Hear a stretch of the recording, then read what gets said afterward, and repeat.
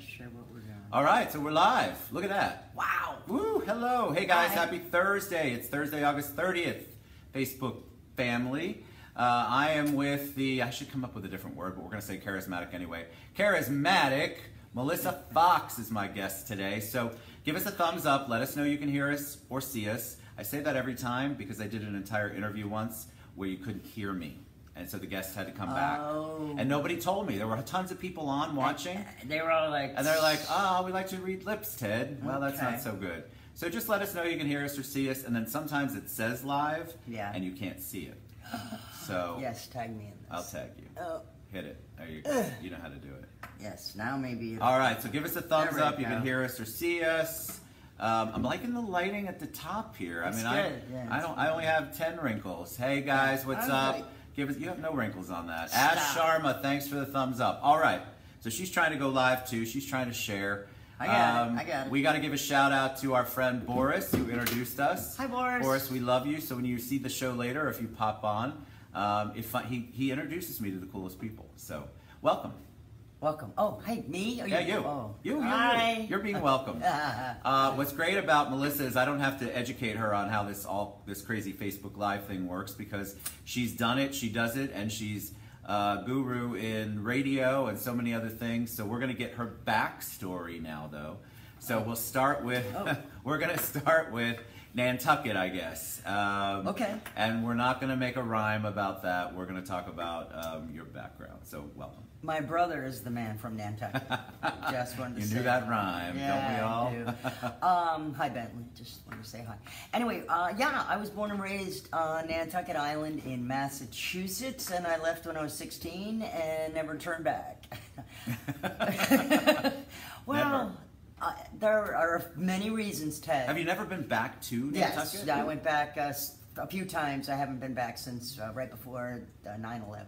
Oh, gotcha. I literally went through Logan Airport just a couple of months prior to the whole thing. Wow. Yeah, so no, I haven't been back since then. Always been here. Did you move here? No, I did not. All right, Uh, so give us a little background because obviously you weren't born and then you were, and then boom. then six- boom, you're in radio.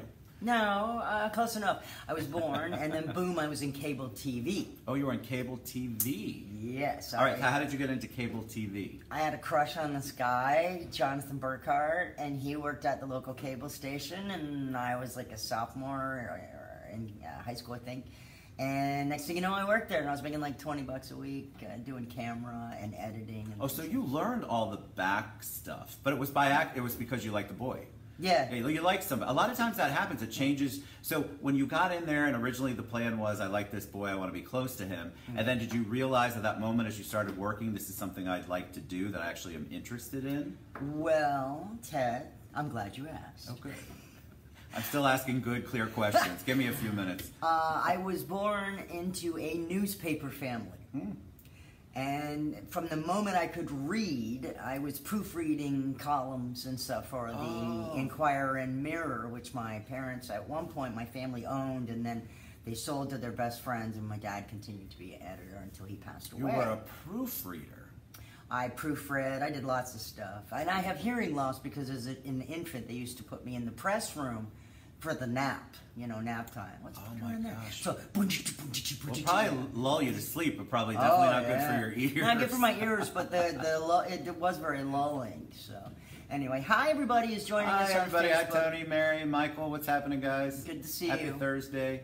Uh, all right, so you're you're in, but you're at the cable company. So you've you're in media of some kind Since a- since, since birth. forever, yeah. Uh, but what let what happened after the crush waned and you were in cable TV? Well, I what really, did you do next? I, I became the uh, what you would call the editor. I was, used to switch everything. I was the switcher, so program. the switcher. Yeah, I did switching, Nice. which is like ready camera two and take Oh, camera nice. two. So I, The last time I was on camera, we didn't have a director, but that's for an adult. yeah, show. that's you should have had a director. you Probably probably should've. and a I t- fluffer. I needed a fluffer for sure on for that video. Okay, so then I moved to West Virginia. Uh, I went to college in West Virginia, and I was the first uh, freshman that they ever put on the radio. Hey, Joe Lopez. Do you know Joe? No. Joe Lopez. Joe Lopez. I know everybody. I tell, know nobody. Tell Joe what your. Oh, hey, Elizabeth Mary and Mary Elizabeth. Hi Hi, hi, Elizabeth Mary. Joe Lopez, you got to tell her what you're doing. What, why we should know Joe Lopez. Joe Lopez. You'll know him in a minute. Okay. All right, so you moved to West. Why West Virginia? Because that was one of the few colleges at the time that actually had a radio and television communications multimedia program. In West Virginia, I would have not. Of all places. Would have not guessed that. Okay, now I had applied to Ithaca, which is where the crush went. Oh, the crush went to Ithaca. Ah. You even went as far as to apply to. Con- Not intentionally, but I followed that that route because he was going into the same thing that at that point I had to become immersed and interested. in. Understood. Okay. It's kind of an after effect, kind of a. It just was what it was. It was So- residual, but it I, was- I- so you went south instead to West Virginia. I went to West Virginia to uh, college there, and again, television, radio, multimedia. At the time, it was still journalism and communications always. So I still had 18 journalism classes, and I can write my ass off. Nice. And I've written for a lot of the local stuff here in, in the past few years. But anyway, went there, went to West Virginia uh, for three years, and then I was supposed to be getting an internship program. And they said, you know what? You are only 17 years old and a junior in college. Did I mention I No. graduated from high school when I was 15? How did you manage that? I'm obnoxious and smart. I have ADHD. I used to be medicated. I was just beginning to experiment with drinking. Yes, Joe Lopez, Orange County Sheriff. That's what he's running for. Hey, buddy. I know who you are. Good luck with that. Fifteen. Yes. Fifteen. Yeah. So, All right, so you're in, you're you're you're a junior at 17, and so did they just say no? You're too young. they said you're too immature Wow. to represent the college in an internship program. And then I didn't have any classes that were left to take. That's how it always happens. Most anyone you talk to be like, yeah, I was like a junior year and I had to wait another year or, or so before the classes came back around again that I needed. So I did the mature thing and I quit. you quit college. And I went to you no? Pennsylvania, to Pittsburgh. Oh, why Pittsburgh? Uh, well, this time I went with a girl. Oh, so you followed a lady. Yeah. Okay, so crushes, a crush led you to the next place. So you're, I can see this pattern here.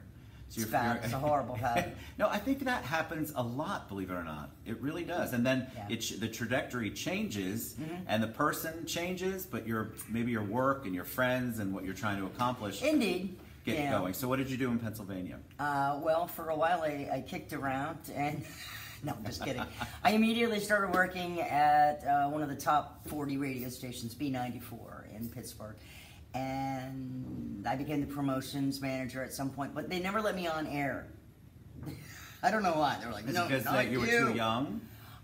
I don't know. They just maybe wasn't the right fit. Everyone's like, you belong on a rock radio station, and this was top forty. Gotcha. And I have the energy. Clearly, I have the energy, Ted. Ted, clearly. I mean, you can't make it up right here, right, Right. here on the screen. So- I love it. yeah, but um, you know, they would have me do things like uh, answer the phones in in the office, not the you know the radio request lines, but the literal, hey, thank you for calling EZ Communications, and people would hang up thinking that they had called the wrong number or that that I was, you know. Uh, How could people? How could they not have the forethought based on your voice that you wouldn't have a voice for radio? Well, I got a underst- face for No, print. so I. I always say I have a face for radio, but I've proven that totally right doing this Facebook show. Uh, but how did your voice is obviously it sounds like a radio voice. Was it always like that? Okay, so if you're answering the phone that way, how could they not know? What was the what was the holdback, the drawback? Just because your age? Probably.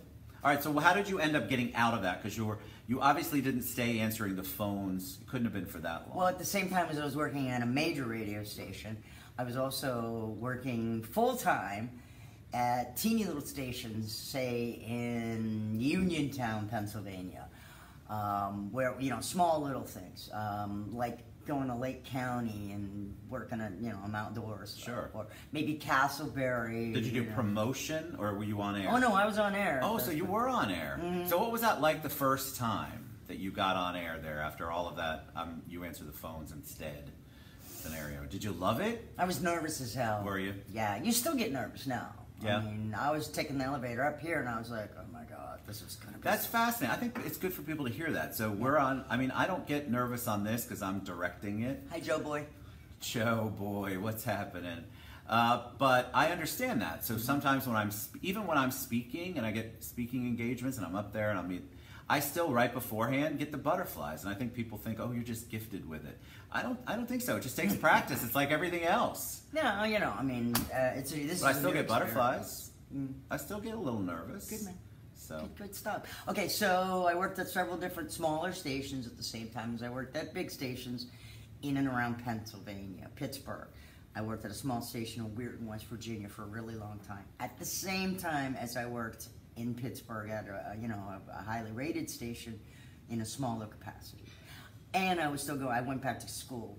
oh you did. I went back to college. You decided all right. I'm not going to be that person anymore. I want to try to go back to college. Did you no, finish? Uh, no. Okay. No. Why did I have a feeling that was how that story was going to end? Well, no, no, wait. Now, see, the, when I said I kicked around in Pittsburgh, when I moved to Pittsburgh, uh, the girlfriend became abusive, so I split. Oh, All right. good thing. the same time, there were some deaths in my family. A little money came my way, so I decided I was going to go back to college part time, get an internship, and get myself back into radio by going in Pittsburgh. That's so that's amazing. exactly how I did that. I mean, it wasn't like I just knocked on the door and said, "Hey, I'm here." I went back to college and did it right after like a year and a half of being too immature. Yeah, but I think that, I mean it, it had to have been a um, you know when you're when you're told that kind of stuff, it's kind of disheartening. So Yeah, right. Uh, yeah, but like I said, I did the really immature thing. And Jennifer wants to know what part of Pittsburgh. Oh, uh, well, I lived all around. I lived in Shadyside, Squirrel Hill, um, Mount Washington a lot because I worked in Mount Washington area, and let's see, Crafton also, I think, yeah, something Nice. like that. John says all his radio was here in Orlando. Need to travel more. Yeah, you gotta get out and travel. You really should. Her sister's in Pit. I don't know how to say. Pitcairn. That. Pitcairn. Yeah, yeah. Uh, McKees Rocks. I, I like again. I was there for. It took me eight years to get out of Pittsburgh. Yeah, where did you go? Boom. Where'd you go after that? Here, Oh, so you did come to Orlando at some point. Okay. Yeah, no, I mean, I know you're here 90s. now, but early '90s. That's what your bio said. Something about the early '90s, The or early maybe that was your one sentence to me. I was born in Nantucket, and I've been in radio here since the early '90s. I'm like, I got to find a longer bio for you. What- it was fine. No, I almost printed know? it. uh, so you you came here, and what happened? Oh, you have a common friend. Oh, Mike. Yes, yes, yes, yes. How Good fun. old days at the Frog. Yeah, um, except that I didn't work at the Frog. I knew people from. How funny is that? Is the frog local or Pittsburgh? Uh, I don't know. or, or and you'll have to tell us where. Here, I think. Probably here. All right, so you come to Orlando, and what do you? What hap- when? what ends I worked happening? at 96.5 continuous rock and roll. Q96. There's the voice. You got the perfect voice for that station. Yes, and that was my first rock station. Was it? Yes. And did you love it as much as you thought you would love it? Oh my god, it was great because it was the first time we were playing like um, Alice in Chains, you know, Man in the Box, and there were swear words and stuff, and it was like, boom, boom. And I was like, oh, this is so much better than Madonna and Debbie Gibson. Oh yeah. Yeah. I still have. A, I'm a pop. No, I guy, know but I, I like rock too. I mean, come on. she says Daytona. Is Yeah, no, I tell you was. it's a frog. I think my brother used to get a lot of stuff from you guys down there. So you you come here, you work 96, and then I don't know the rest. Like I, I printed the bio, but we Oh. joke that we spend the dollar fifty uh, that I have for R and D on booze. so Oh, we really just uh, it's right here. um, Joe Boy, of course, says he loves Debbie Gibson. Me too. Of course you do. I, Kiss. but you've done like so. Radio is your in your blood. It's not like I mean you've you've dabbled in and you obviously have other things that you do, but Yeah. it's still something. And how is the radio world? My my impression, and I want you to correct me if I'm wrong. My impression is that it's a lot of jumping around. There's not a ton of stability necessarily, and then the whole environment, the entire world of radio, has changed A lot. very significantly. So give All me right, some well, ideas. that's a lot to work with. Okay, there you go. radio has changed a lot okay since uh, the fm dial came up am radio back in the back in the 60s and whatever 70s of course you got your fm radio album oriented rock and the djs just started getting money money money money money money and it, it went really well into the 80s and the years of the yuppie. Um, there was like morning shows were getting paid millions of dollars. It was awesome. and then all of a sudden, stupid ass computers came around. I hate you, Yeah, computers. They changed the whole thing. It really did change the entire focus of radio. Uh, all of a sudden, you know, these satellite stations start popping up, and now you could just bounce one radio station uh, to the uh, to the point where it's like a spider, and there's just one little place and five different outlets that are all running the exact same programming, and then it's uh, pre-recorded. There's hardly anything that's actually live anymore. Why is that? Is that because of cost? Is it just because of the demand? All of the above? Uh, because I Cheap love live radio. I love live. That's why I love Facebook Live because you Yep. get the immediate. Yep. People can ask questions, and then they can also ask questions later. But if you're not live and you're being recorded, Yeah. I mean, I don't know. I find recorded. I'm also OCD. I don't know if we talked about this a little bit earlier. I would I would be horrible at editing a video Well- or an audio. and I know you do that, and I want you to talk about that. I will, bit. but here's the thing. You're right. I, I is one of the reasons I'm not doing music radio now, is because I don't like what they call voice tracking. All right, and it's not just that it's the money because there's no money in it now. All right, You- they take a five-hour shift, and they've pretty much jumped it down to 45 minutes of, of production studio time, uh, where you're just opening the microphone and recording your little bits between you know here you go here you go here you go Wow. whereas in the studio when you were live you're there you jam that song up you're dancing Yep. the energy's hot you know and then it's time to talk and you're like boo boo boo boo boo isn't that awesome yep yep yep it's really hard to replicate that in the studio when you're hearing if any of the song at all Right. All right. I would think that would be so difficult. Because when we're live here, I mean, I'd love to have music in the background, and maybe we'll get to that at some point. I'll be technologically advanced enough. But I feel like that, that immediate interaction with the audience, and Mm-hmm. I, we're here, we're present, creates an, an entirely different world, and it's much more responsive and real and um, in the moment. Oh, Jennifer. Jennifer has asked a very pertinent question. Oh. no, there's no money in that. Satellite radio, Sirius radio, and all the shows that are on there. No, hardly anything. Um, the problem with radio is that, like I said, the bottom's falling out of it. Yeah. Most of the ads that you hear are if the station gets compensated if somebody calls that phone number and actually orders whatever that product is. Oh, so it's tied to an actual They're all order. what they call LS, yeah, which is I didn't realize that. Is Mm-hmm. So that when why you hear that, phone number over and over and over and over again, that is station specific, sometimes show specific on the station. That's how you get that. your credit, and then they get a teeny percentage of the sale. So they don't they don't make the money on the actual buying of the No, airtime. they give the airtime up in exchange for the Wow. uh, but the idea that they may get a sale out of it, Wow, and then they'll get a percentage of that sale. I did not know that. See, I'm learning stuff. See, you guys, you're being educated. And radio. Jennifer, yeah, she said she was offered a job a couple years ago to go back to New York, but the pay was crap. That's the problem. Right. All right. Like I was saying, they voice track. Five hour shift takes you about half hour, 45 minutes tops if you're doing a good job. And your OCD will take you three hours. Yeah. Um, and they're paying 20 bucks. Oh my gosh. $20. And how did I have a question that just dawned on me? How did podcasts impact radio?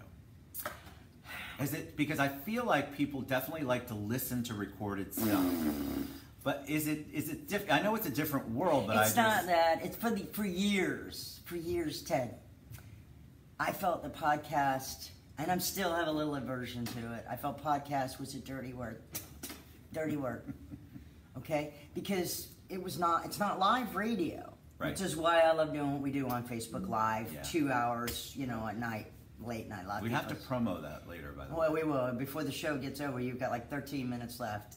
Just to- Oh, ah, look, she's she knows how to keep time in this this crazy environment. Yeah. So anyway, podcasts I always thought were really, really bad. All right, but I've had to sort of, uh, you know, like ugly stepsister embrace it right.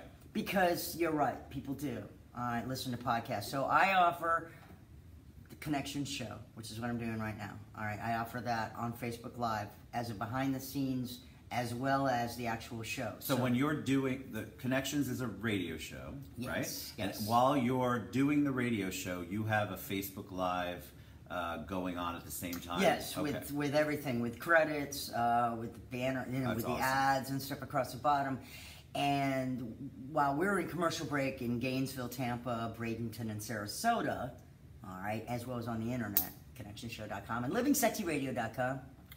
Miss Glenda Chauncey, right? Isn't she involved in that anymore or no? No. Oh, well, I didn't Um, know. She's got her own stuff, and Oh, she that's does? fine. hmm I don't know anything. It's all good. See, I don't do R and D. I told you. All right, it's okay. But anyway, while that's going on, uh, while we're playing commercials on the radio, we put on an entirely different show for the Facebook Live people for the four or five minute Oh, very commercial cool. break. Oh, in between. That's Mhm. actually cool. So that we keep people not only staying on Facebook Live, but we actually give them. Come on, admit it. When uh, radio, if you were live on the radio, and that four-minute commercial comes on, and you can walk away, go outside, smoke a cigarette, eat a donut, take a whiz, you're not in that studio. Okay, that's what normally happens right. during the live segments of a radio show. And nowadays, it's like two hours in the morning is live, and then the third hour of the morning show is pre-recorded. So, just thought. That's really good. No. So okay, so, you, so you've got connections. Mhm. All right, let's talk about some of the other things that you do. Because connections, and they can go to what is the website for connections? connectionsshow.com Okay, that's an on easy Facebook, Connections FM. and we'll share all um, that later. It's all but out there. but I want you. Uh, so what what about next? Because you've got a list of things that you do, and instead of me looking down at it, I'm just going to let you look down at it. You're going to tell me. well, um, I have a lot of stuff going on. I know you really do, and I love. That's why I love. That's also why I do the 30 minutes before, because I think it's important for me to kind of get a clue. And I'm not really a great visual. I'm a I'm a not an auditory person, so I like to visualize stuff. He's using big words. I'm- and I don't know It's if you only- saw. it's only- glazed right Totally glazed. Well, I said it out loud. I'm not sure I knew what it meant. Yeah, but All right, it sounded so good. You pronounced it right. I did for now. Wait till three o'clock. All right, so go next. Three o'clock. No one told you had to be here. I have- no, I, I have ha- obligations. I have a show at three. What I do.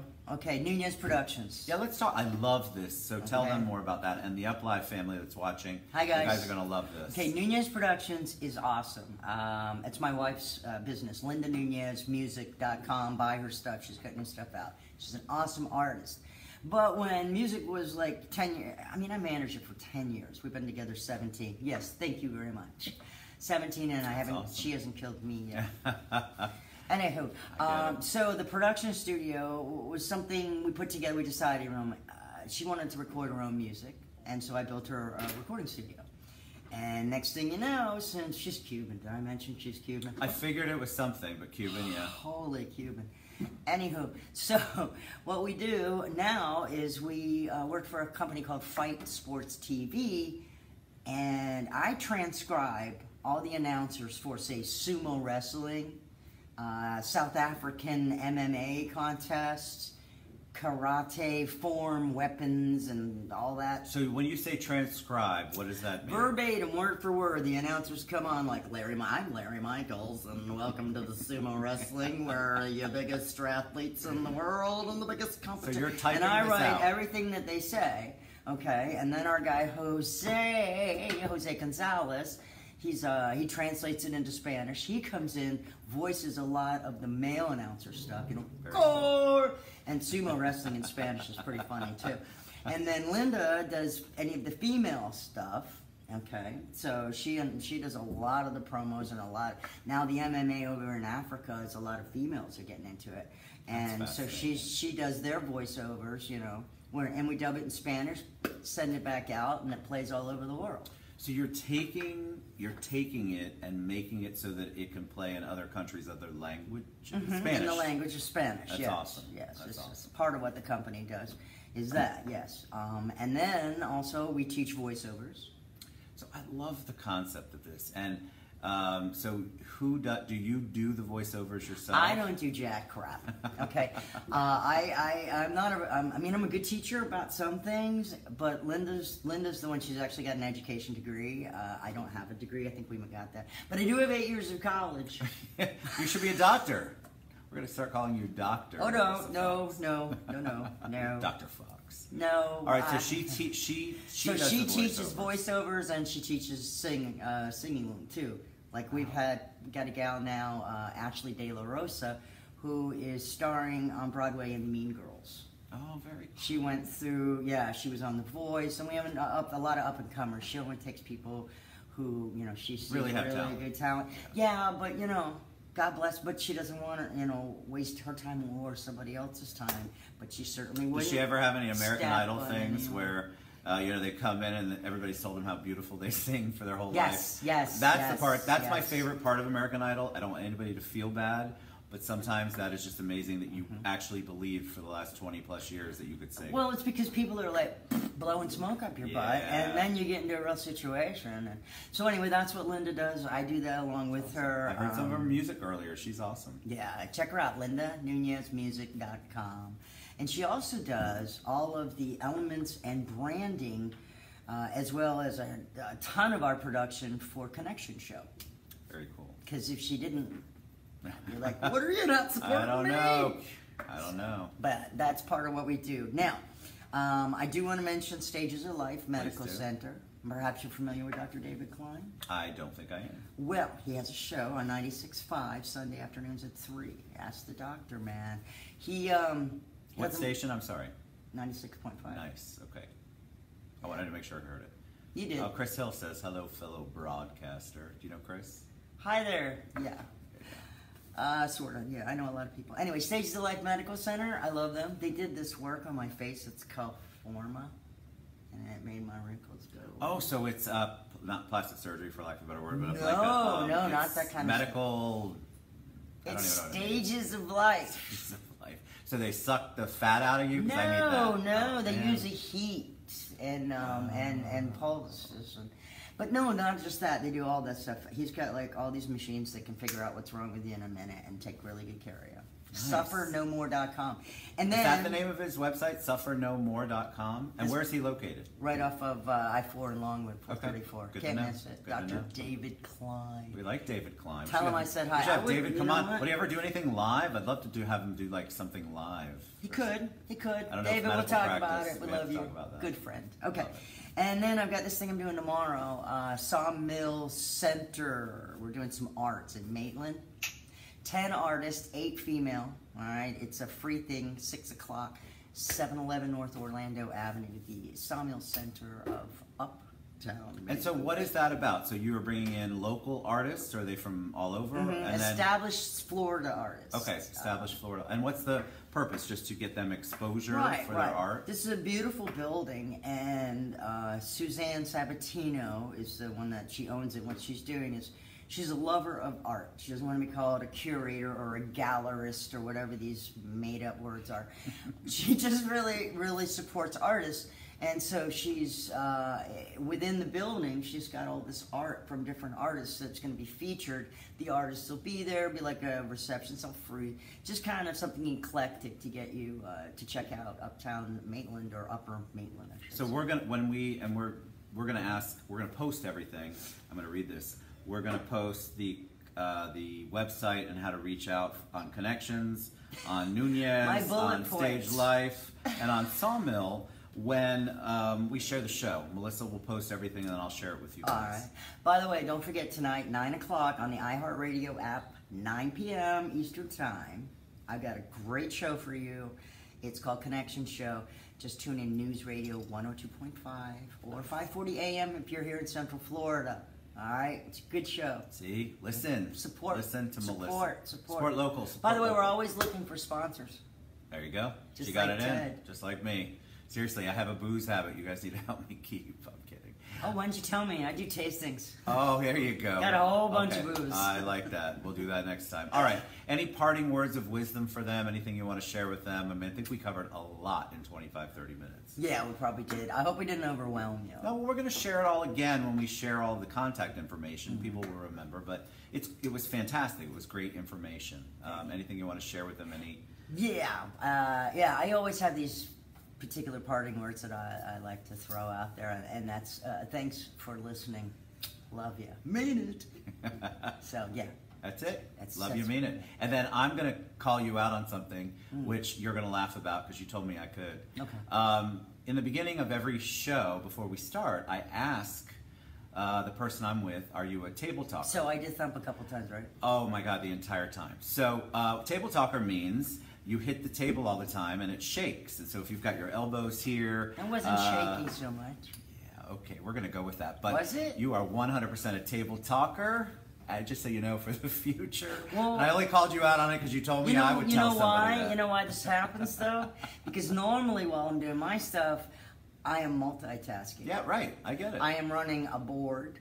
I am running two compute, three, excuse me, three computers. You've got your hands full there. You don't have your hands full right I am running the show, and I'm also trying to keep everybody entertained and push the buttons and different camera angles on the computer. Yeah, that's a lot. I can barely hit the finish button when we're over. Me sitting here and tapping the table is probably just because I don't have anything else to do with my Right. hands, and they could just be around your neck. They could.